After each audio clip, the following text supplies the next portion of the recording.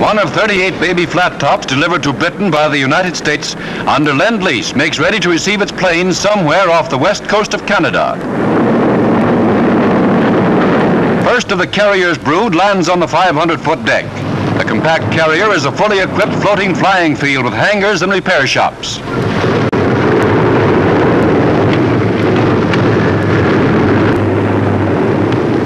Used as escort vessels, these speedy air bases, both in the British and American navies, are delivering the death blow to Hitler's U-boat warfare.